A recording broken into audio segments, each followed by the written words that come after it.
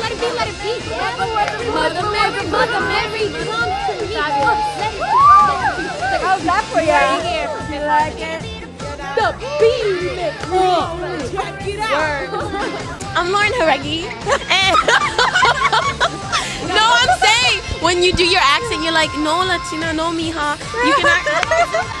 Oh, baby, when you talk like that, you make the woman go mad. Okay, so be wise. So Definitely called Booty pop men. Booty pop men. Way too. okay, we're in the dressing room and she she puts both her feet in yeah in one pen. So she falls over and she's still in her underwear.